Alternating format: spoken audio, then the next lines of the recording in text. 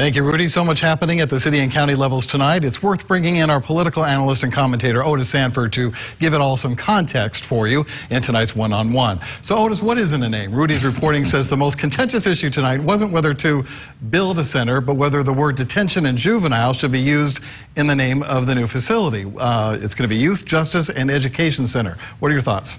Well, I mean, I don't see anything wrong with calling it the Youth Justice and Education Center, and I, I, would really like to hear from Brandon Morris and Mark Billingsley as to why they feel it's absolutely necessary to keep detention uh, in the name. You know, uh, many years ago, uh, mental uh, facilities were called a lot uh, less pleasing names.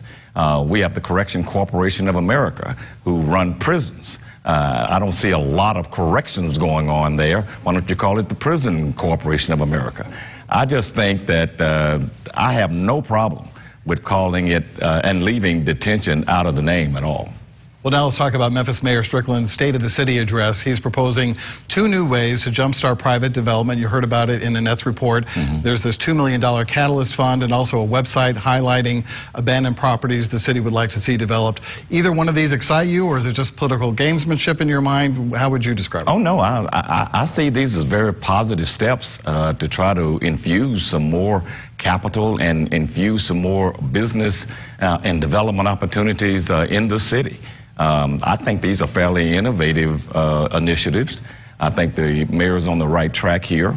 Uh, if it can be used properly and, and get the money where it needs to be in the communities where it needs to be, um, I think the mayor is on the right track, and it's probably going to be a good campaign issue for him. Briefly talk about the politics involved with the mayor's address tonight. Uh, not just the content, he talked about poverty down 17%, percent he talked about 18,000 new jobs, but also the location of the address mm-hmm. tonight in Whitehaven. Well, Richard, this was a, a speech and a whole event about symbolism, but also about substance. The symbolism was uh, having the event in Whitehaven. Whitehaven is one of our largest communities. It is a huge African American populated community where African Americans vote in fairly high numbers there. Uh, so the politics of that was let's roll this out uh, in Whitehaven and give a little love there.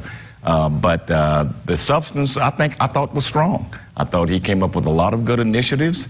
Um, I do question, though, that 17% drop in poverty. Uh, somebody at City Hall is going to have to substantiate that a little bit more uh, tomorrow and in the coming days because I'm not sure that that's true.